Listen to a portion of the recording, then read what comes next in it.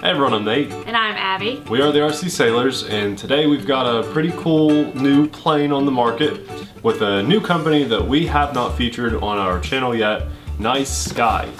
This is distributed by Hobbico, so it does fall under that umbrella that we've been working a lot with uh, in our past videos. The coolest thing about this plane from the start, at least that caught my eye, is the fact that it has pontoons, or floats. And you can actually change out the floats with just wheels for regular landing gear if you don't have anywhere to fly it on water.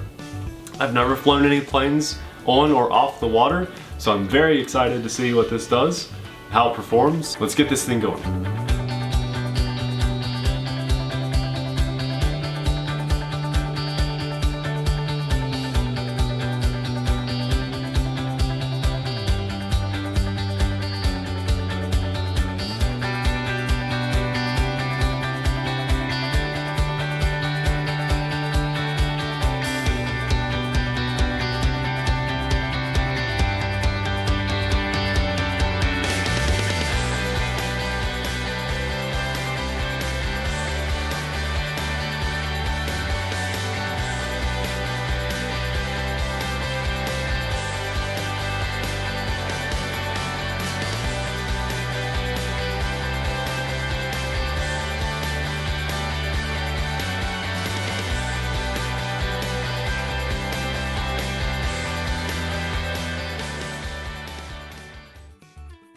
What I'll be doing for this build video is pretty straightforward, but a lot of people like to have a video to help build their uh, RC to help go along with the instructions. I'll be following the instructions that came with the RC and learning as I go.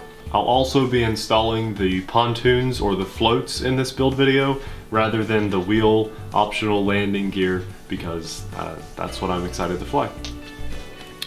We are going to go ahead and attach the tail gear to the uh, bottom of the plane though because it's used whether you have the wheels on or not. So we want to flip this over, maybe hang the tail over the edge of the table and we've got our little landing gear here. There's a cross that matches up with the plastic that you've got there. It'll just slide right in um, it, that would probably hold without glue, but to be safe, I'm going to go ahead and put a dab of foam glue on there so I know it'll hold well. And I'm using a Super Gold Plus 100% safe uh, for foam glue. You can buy it at just about any hobby store. A little bit goes a long way.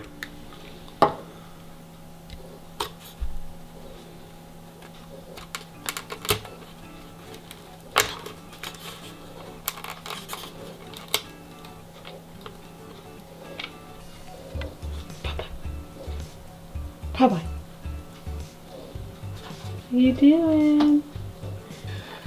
We've got a couple parts here. Uh, I'm gonna. There's a couple tubes. Uh, look like straws almost, but they're heavy duty, and uh, we want to. There's two little holes inside your pontoons. You want to place those there and tighten the screw on each one. We've got the two brackets connected now. There's a screw that holds it in. It's just a metal screw that goes into that plastic. And we'll do the same on the other side and it should hold it together pretty tight.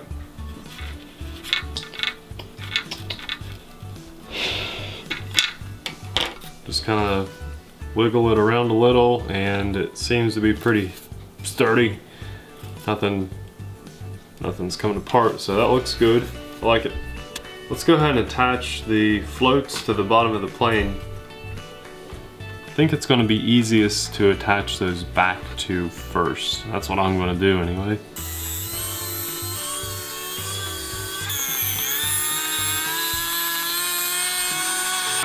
As nice as that screwdriver is, it's always good to kind of hand tighten things to make sure they're snug if you want them to be, or loose if you need them to be. Just snug that down a little bit more.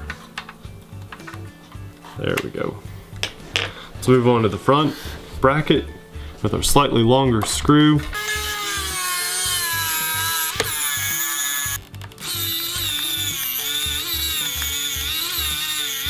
Okay, our pontoons are on. It only took uh, four screws to attach them and then we wanted to brace them with the two uh, kind of cross brackets there that screw in as well from the outside screws.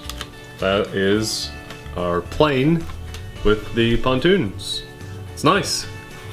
Um, let's get the wing attached and we have a few small plastic decals uh, or just accessories that will make it look a lot nicer. We'll put those on last.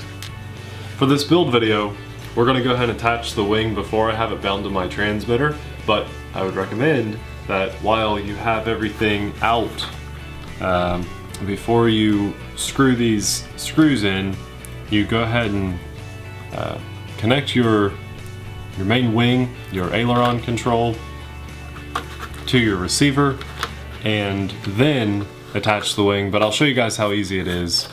Uh, let's go ahead and do this. And the back goes down. Very simple. We've got a long screw that will hold that in. You've got two support brackets that go to the fuselage and the wing and they basically connect just like this. Let me make sure I get them going the right way. There's a little plastic insert that has already been uh, attached to the fuselage of your plane and the wing and that's where the screw goes in case you're wondering. It does not just screw into the foam. Just make them snug. There's no need to overdo it here on these. Use the same glue that we used on the the tail wheel, the tail gear uh, for your antennas on the top, the little fake decal antennas and uh, just kind of decorate your plane up nice. This is a great looking scale plane. I really like how it looks. It's a great looking plane. I'm really excited to see it fly. Really, uh, probably took me about 20 minutes or so to put this together, but that's because I ran around getting some extra parts like glue and screwdriver. It should probably only take you 10 to 15 minutes to build, especially if you uh, already have watched this video and you're waiting on it to come. It's a rainy day today for us, so it was a perfect day to build the plane. It looks really nice. It's basically ready to go. I'm just gonna charge some batteries and we sincerely hope to see you guys over on our channel. Uh, we'll have a review and flight of this video. We also do a monthly giveaway if you haven't heard about it. So stop by our channel, subscribe, watch our challenge series, and enter for your chance to win some free RC products we sincerely thank you for watching and we hope to see you in the next video. Hope this video helped.